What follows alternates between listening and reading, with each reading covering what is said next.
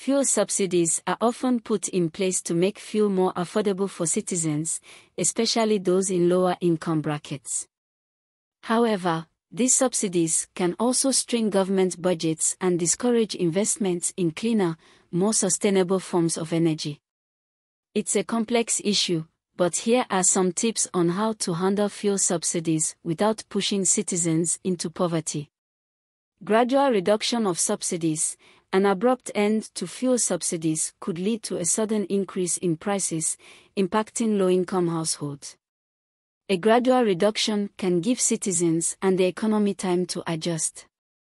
Targeted subsidies, instead of a broad subsidy that covers everyone, consider targeted subsidies for the most vulnerable groups. This approach is more sustainable and ensures assistance goes to those who need it most. Direct cash transfers, as subsidies are reduced, implementing direct cash transfers to low-income households can help offset the increased cost of fuel. This has been used in countries like Iran and Indonesia with some success. Public transportation, improve public transportation to provide an affordable alternative to private vehicles. This can reduce individual fuel costs and also has environmental benefits. Alternative energy, encourage and invest in alternative energy sources. This can help reduce the country's dependence on fossil fuels and could also create new jobs.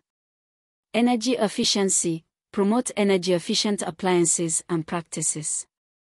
This can help reduce overall energy consumption and thereby the impact of fuel cost increases. Education and communication, ensure citizens understand why fuel subsidies are being reduced and what measures are being put in place to support them during the transition. Clear, transparent communication can help maintain public support. Economic diversification encourage diversification of the economy to create more opportunities and reduce dependence on subsidized fuel. Reinvest savings use savings from subsidy reductions to invest in public goods like healthcare, education, and infrastructure. This can help improve the overall standard of living and offset the impact of increased fuel prices. Social safety nets strengthen social safety nets to protect the most vulnerable.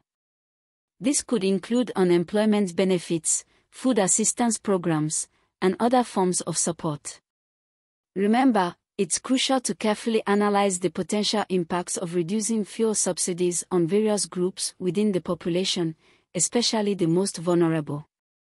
Effective policy will require a balanced approach, taking into account economic, social, and environmental factors.